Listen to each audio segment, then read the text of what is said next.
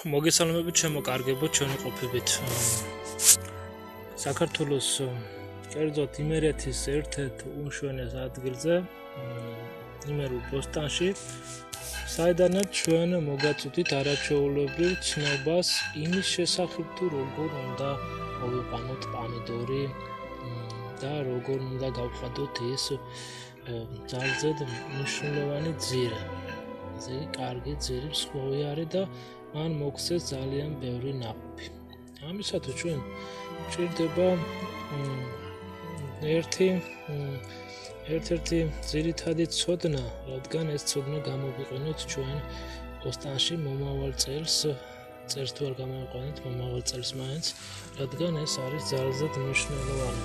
ჩვენ ახლა გაჩვენებთ ჩვენ პამედრის ერთ-ერთ ძირს, ხედავთ აი როგორი დატვირთული აქვს. ტოტები თავის ყვავილით ხედავთ აი აქ სამ პარმედურის რგოლს რომელიც არის ესეთი სახით. აი აქაც ხედავთ ყვავილს. როდესაც პარმედური დახუნძლულია აი აქ ახლა გამოკრიფეთ ეს დავტოვეთ. გაჩვენოთ აქეთ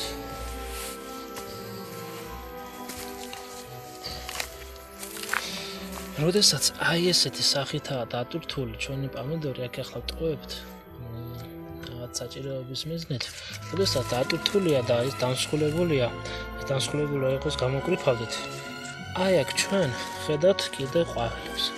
ხედავთ ყვავილებს რომელიც მომავალში საჭიროებს დიდ ენერგიას ფესვიდან ფესვს რო ენერგია კონდეს საჭიროა ჩვენი ეს დასრული პომიდორები დავკრიფოთ და მოვათავსოთ ყუთში, სადაც იქნება შესაბამისი ტემპერატურა.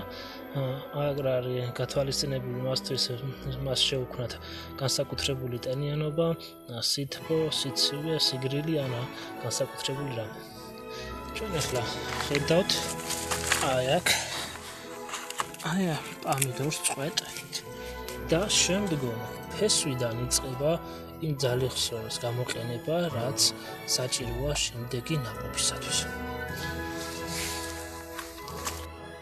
აქ ჩვენ უკვე ვხედავთ სამი დღის მოკრეფილ პამიდორს, რომელიც არის ესეთი სახით. ჩვენ როდესაც მიხედებით ახლა დაკრავს წითელი ფერი, აი ესეთი ფერი, აი ესეთ პამიდორი ხდება, ახეთ როგორი განძია. ის კეთს რო დავაგდოთ დაბლა, არ დალპება, არ დაზიანდება. ჩვენ ხედავთ აი ამ სიტამპლეს. აი ეს სიტამპლე არის უკვე აღებული მიწიდან. მიწიდან და აი ეს სიტამპლე სანამ წამოვიდოდა პამიდორი არის აი ესეთი სახით დაზიანებული. ახლა ჩვენ ესეთი პამიდორი არ ნაგვედოთ ამაში, გვედოს ამაში, მაგრამ გვიდევს თვითონ რომ გაჩვენოთ.